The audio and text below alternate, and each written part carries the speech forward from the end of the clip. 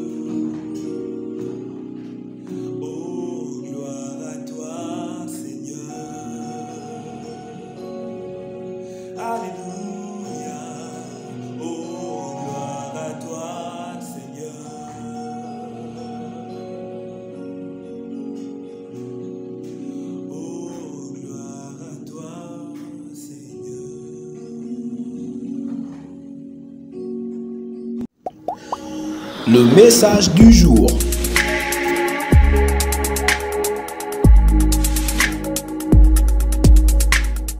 Bonjour, et je suis Max Laplanche avec vous euh, pour le message du jour. C'est toujours un honneur, et un privilège de partager la parole avec nos frères et sœurs et je prie euh, et nous allons prier justement que Dieu puisse nous aider. Mon Dieu Tout-Puissant, te disant un grand merci pour cette opportunité que tu nous donnes et de porter ton message. Que nos frères et sœurs soient édifiés. Je prie, Père, pour chacun de nous dans nos cultes de maison, que le message qui sera porté euh, va, aille, droit à nos cœurs et transforme nos cœurs et que ça nous encourage à vivre notre vie d'une manière différente. Nous sommes en plein jeûne et c'est le moment de, de, des fois du découragement, le moment où on se sent affaibli et tellement fatigué qu'on n'est pas capable de continuer et on pense à, arrêter. Et maintenant, c'est le moment de prendre la prière et de nous accompagner dans ce jeûne et prière. C'est au nom de ton Fils Jésus-Christ que nous prions. Amen. Amen. Euh, Aujourd'hui, le thème que je veux euh, euh, euh exploiter, c'est le jeûne avec puissance. Le jeûne avec puissance. Vous savez, il y a des jeûnes qui sont sans effet. Et parce que ce sont des jeûnes de routine. On, on, jeûne parce que tout le monde est en train de jeûner. On jeûne parce qu'on fait partie d'un groupe et l'Église est en train de jeûner, donc nous jeûnons. Mais au fait, ça peut être des jeûnes de torture. Ça peut être des jeûnes où on se fait mal à l'estomac parce qu'on n'est pas en train de prier, parce qu'on n'est pas en train d'implorer la grâce de Dieu, on n'est pas en train de s'accrocher à Dieu. Amen.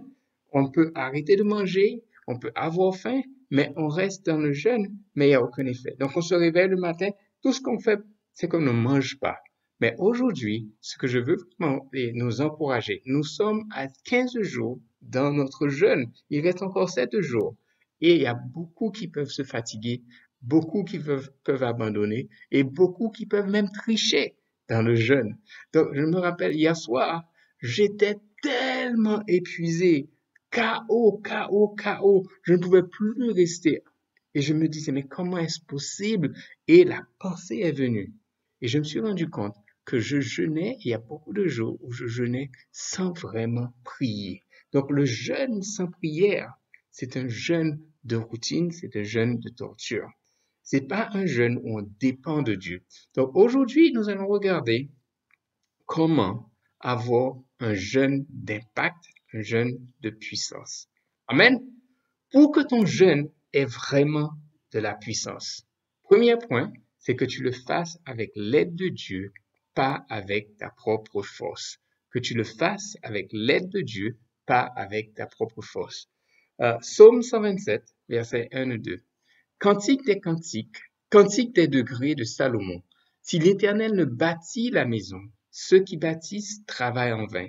Si l'Éternel ne garde la ville, celui qui la garde veille en vain. En vain vous levez-vous matin, vous couchez-vous tard, et menez-vous de le, et, et, et mangez-vous le pain de douleur. Là, nous savons que nous ne mangeons pas. Et pourtant, il donne autant à ses bien-aimés pendant leur sommeil. À moins que nous jeûnons, à moins que l'Éternel ne fasse partie du plan, notre jeûne sera sans puissance. À moins que l'Éternel ne bâtisse la maison. Alors nous prenons l'entreprise de jeûner, mais à moins que nous le faisons avec l'Éternel et pour l'Éternel et grâce à l'Éternel et par sa force, eh bien, nous allons jeûner pour rien.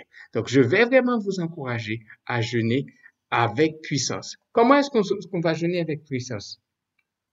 Et cela doit venir de Dieu. C'est Dieu qui veut que faire un changement dans notre vie. Nous avons appris par le pasteur que le jeûne nous amène à l'humilité, à dépendre de Dieu. Mais comment est-ce que tu veux que tu changes pour devenir une personne nouvelle, accomplie et propre pour faire sa volonté? À moins que tu impliques l'éternel dans ton jeûne. Ça veut dire que dans les sept jours qui te restent, c'est le jour où tu vas te concentrer plus dans la prière. Tu seras physiquement plus abattu, mais avec la prière, tu auras encore plus de force pour traverser ce jeûne et être transformé. Deuxième point, que tu le fasses pour une transformation de ta vie pour Dieu. Pas une transformation de ta vie pour toi-même, mais la transformation de ta vie pour Dieu. Regardons Jérémie 17, verset 5 à 8. Ainsi parle l'Éternel. Maudit soit l'homme qui se confie dans l'homme, qui prend la chair pour son appui. Ça, c'est le jeûne sans la force spirituelle. Et qui se détourne son cœur de l'éternel. On peut être en jeûne, mais pas être attaché à Dieu. Il est comme un misérable dans le désert. Il ne voit point arriver le bonheur. Il habite dans les lieux, brûlés du, les lieux brûlés du désert, la terre salée, sans habitants. On a des fois un sentiment de frustration. Pourquoi je jeûne? Parce que nous allons sans l'Éternel. Parce que nous n'allons pas avec un cœur tourné vers l'Éternel. Parce que nous n'allons pas avec un cœur qui cherche la face de l'Éternel et nous sentons notre misère. D'accord? Et nous n'avons pas de bonheur et nous sentons la solitude. Euh, la terre brûlée, c'est terrible, il n'y a rien qui se passe. Une terre salée, rien ne pousse et sans habitants. Donc on a un sentiment de solitude, un sentiment de frustration, un sentiment qu'on n'a pas de vitalité, un sentiment sans zèle. J'ai vu des gens qui sont devenus plus grincheux pendant la période de jeûne. Vous savez pourquoi ils sont grincheux? Parce que l'Éternel n'est pas avec eux. Parce qu'ils ne font pas ce jeûne avec l'Éternel. Quand nous faisons le jeûne avec l'Éternel, notre visage est radieux et nous accomplissons des choses pour l'Éternel. Quand nous sommes en prière, vraiment en prière dans le jeûne, quand chaque cinq minutes, quand ton estomac te fait tic, tu reprends ta prière, tu reprends les pensées de la prière, mais tu vas voir que ton jeûne avec Dieu sera un jeûne qui va faire une transformation de ta vie tu n'auras plus la solitude. Et on va voir ce que ça va faire quand, on continue à lire ce, verset. Ah, amen. Euh, par contre, quand nous prions et mettons Dieu, euh, notre espoir en Dieu, voilà ce qui se passe. Verset 7. Béni soit l'homme qui se confie dans l'Éternel, et dans l'Éternel est l'espérance. Alors, quand tu jeûnes, tu dois te confier à l'Éternel et l'Éternel est ton espérance. Il est comme un arbre planté près des eaux qui étend ses racines vers les courants, il n'aperçoit point la chaleur quand elle vient et son feuillage reste vert. Dans l'année de la sécheresse, il n'a point de crainte, il ne cesse de porter du fruit. Amen. Ça veut dire que la personne qui se confie à l'Éternel, quand tu fais le jeûne et que tu es en train de prier, ça nous amène à faire confiance à Dieu. Le jeûne et la prière nous permettent de mettre notre confiance et notre espérance en lui, quels que soient les obstacles de la vie d'aujourd'hui, quelles que soient les difficultés qui sont dans notre vie, le jeûne et la prière va transformer ça. Es-tu en train de prier et de jeûner pour les grands défis que tu t'es donnés, pour les grands défis qui sont devant toi? Est-ce que tu jeûnes et pries pour la transformation de ta vie? Vous savez, les problèmes peuvent être grands et énormes, mais quand nous avons cette confiance en Dieu, eh bien, tout paraît plus facile à gérer. Amen. Est-ce que tu es en train de, prier pour que tes racines puissent aller jusqu'au fond et puiser la source, à la source, la force et le zèle qui vient de Dieu? Tu seras comme un arbre planté près d'un cours d'eau. Amen et ton feuillage sera vert et tu seras radieux et la sécheresse ne t'atteindra pas. Amen. Jeûne et prière pour que tes racines soient dans la parole. Tu ne peux pas être en train de jeûner sans, être en train d'approfondir tes temps de méditation avec le Seigneur. Amen. Donc, jeûne et prière, il faut le faire ensemble. Tu veux jeûner, Amen, pour que ton âme soit arrosée. Jeûner pour que tu puisses faire face aux défis qui sont devant toi. Jeûner et prier pour porter du fruit. Est-ce que nous avons pensé Qu'est-ce que nous allons faire en 2022 Est-ce que nous allons porter du fruit? Mais c'est aujourd'hui que la transformation doit se faire. Si tu vois un arbre et il pousse des racines jusqu'au fond, mais eh c'est là que dans cette profondeur de ta relation avec Dieu, que tu vas trouver la force et l'inspiration pour avoir de l'impact et toucher les âmes pour les amener jusqu'à Dieu, pour faire de Dieu euh, celui qui te bénit. Amen. Euh, amen. Euh, est-ce que tu jeûnes et pries pour que Dieu puisse t'utiliser? Est-ce que tu jeûnes et pries pour que ton partage ait de l'impact? Est-ce que tu jeûnes et pries pour que ton ministère ou ton secteur ait de l'impact, ou que ton église ait de l'impact dans la vie des autres? Amen jeûne et fruit pour que tu puisses porter du fruit. Troisième point et, conclusion. Amen. que tu le fasses, ton jeûne, avec, pour que la puissance de Dieu puisse éclater. Que tu fasses ton jeûne pour que la puissance de Dieu puisse éclater. Euh, on va regarder cette écriture, c'est 2 Chroniques 14, versets 8 à 14.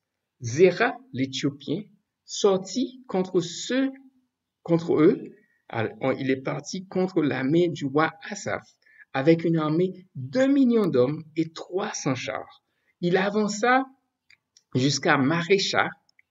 Asa marcha au devant de lui, et ils se rangèrent en bataille dans la vallée de Tchephata, près de Marécha.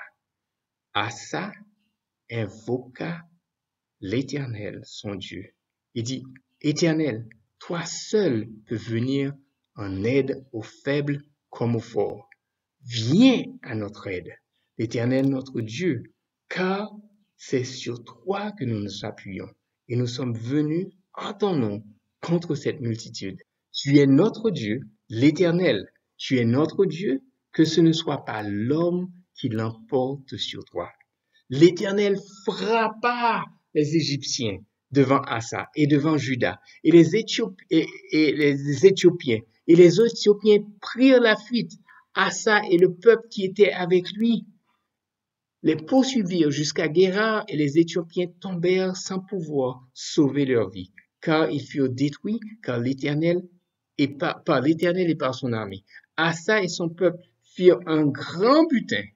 Ils frappèrent toutes les villes des environs de Guérard, car la terreur de l'Éternel s'est emparée d'eux, et ils pillèrent toute la ville, dont les dépouilles furent considérables. Il faut noter que au verset 7 de ce passage, tout de suite avant, Asa avait une armée de 300 000 hommes de Juda, tandis que le roi éthiopien avait une armée de 1 million d'hommes. Nous savons tous, quand nous étudions la Bible, celui qui a 10 000 hommes et contre celui qui a 20 000 hommes. Ah, c'est un exemple. Et alors celui qui a 10 000 hommes va vite demander une ambassade. Mais Asa n'avait que 300 000 hommes et l'Éthiopien, le roi éthiopien, avait un million d'hommes et 300 chars. Devant cette catastrophe, devant ce qui va être anéanti, eh bien, la prière d'Assa a été, et la prière, et c'est là que le, stress que je fais, la prière d'Assa, c'est que l'Éternel vient à mon aide, vient à notre aide, car c'est toi sur qui nous nous appuyons. Et c'est sur toi que nous avons la force. Tu es notre Dieu, que, ce ne soit pas sur les hommes que nous dépendons, que ne soit pas l'homme qui l'emporte sur toi. Alors Dieu est notre Dieu qui veut nous amener à des victoires extraordinaires. Maintenant, à nous de savoir, est-ce que nous allons dépendre de lui? Quels que soient les défis que nous avons en 2022, Dieu est en train de nous dire, je serai avec toi, je ne t'abandonnerai pas, je serai pour toi et je vais me battre à tes côtés. Mais la façon de le faire, il faut commencer par le jeûne et la prière maintenant. Nous avons sept jours qui nous restent. Faisons tous nos efforts. Jeûnons réellement. Jeûnons sincèrement. Jeûnons et intégralement avec jeûne et prière. Quel que soit le défi de ton ministère. Vous savez, nous avons des ministères qui ne sont pas en train de, de marcher comme ils devraient. Nous voyons les obstacles. Mais qu'est-ce que Dieu veut faire dans notre vie? Quels, que soient les défis dans nos relations personnelles, quels que soient les, défis dans notre mariage, est-ce que nous sommes en train de jeûner et de prier pour ces choses-là? Aujourd'hui, que ce ne soit pas l'homme qui l'emporte sur Dieu, Amen. Quel que soit le défi qu'il y a dans ton mariage, quel que soit le défi d'avoir une amitié spéciale, quel que soit le défi d'une situation familiale, quel que soit le défi d'une situation de santé, quel que soit le défi d'une situation au travail, quel que soit le défi d'une situation financière. Dieu est en train de nous attendre. Il veut que nous voyions ces obstacles. Et par le jeûne et par la prière, nous pouvons tout détruire et nous pouvons tout surmonter quel que soit insurmontable que, que paraître le défi qui est devant toi. Amen. Humilie-toi devant Dieu par le jeûne et la prière. Reconnais-le, implore-le et qu'il vienne à ton aide. C'est le moment. Nous avons sept jours pour continuer ce jeûne et prière. Qu'est-ce que soient les défis que tu vois? C'est le moment de t'agenouiller et de prendre le temps de jeûner et de prier. On peut passer et traverser cette période de jeûne sans être changé. C'est le moment pour chacun de nous d'être des hommes et des femmes qui sont transformés, que la gloire de Dieu puisse éclater dans notre vie, que 2022 soit notre année d'excellence en tout, par le jeûne et la prière telle qu'elle a commencé. Amen. Nous baissons nos têtes pour prier, pour clôturer. Grand Dieu Tout-Puissant, nous te disons encore un grand merci pour ta bonté, ta fidélité et l'amour que tu as pour nous. Merci parce que par le jeûne et la prière, sans, sans prière, notre jeûne ne vaut rien. Sans prière, ce n'est que de la torture. Aide-nous à vivre ces prochains jours en nous accrochant à toi. Et aide-nous à passer à cette troisième semaine de jeûne et de prière avec plus de force, plus de puissance, que nous soyons vraiment transformés, que nos ministères soient vraiment transformés, que notre vie personnelle soit vraiment transformée, que euh, les obstacles qui sont devant nous, les obstacles de finances, les obstacles de relations, les obstacles de et les difficultés que nous, qui sont devant nous soient entièrement anéantis parce que nous allons mettre notre confiance en toi et nous allons nous humilier devant toi et nous allons voir ta main qui travaille devant nous et qui va détruire les obstacles qui sont devant nous. Remercions pour tout et c'est au nom de ton Fils Jésus-Christ que nous prions. Amen.